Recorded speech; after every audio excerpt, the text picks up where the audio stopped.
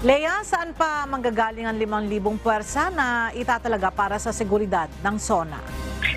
Magandang tanghali sa Ella. Ang mahigit sa 5,000 pang security forces ay magmumula naman sa ibang law enforcement agency kabilang nga dyan ang Bureau of Fire Protection, Armed Forces of the Philippines, Joint Task Force, NCR, Bureau of Jail Management and Penology, Office of the Civil Defense, Department of Health, Philippine Coast Guard, MMDA at Philippine Red Cross. Mayroon ding limang daang mga force multiplier mula naman sa mga volunteer group. Bukod dyan, mayroon pa rin mahigit sa 4,000 reactionary standby support force na maaaring i-deploy pa kung kinakailangan. Ang naturang mga pulis ay itatalaga sa Batasan Complex at sa 31 border control points na ilalagay papasok at palabas ng Metro Manila. Mayroon din magsisilbing Civil Disturbance Management Contingent na siyang nakabantay naman sa mga rallyista.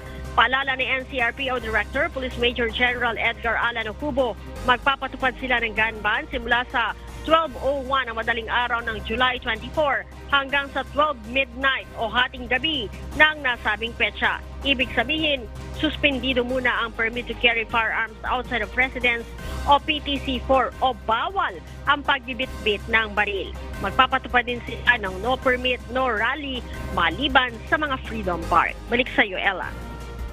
Maraming salamat, Lea Ilagan.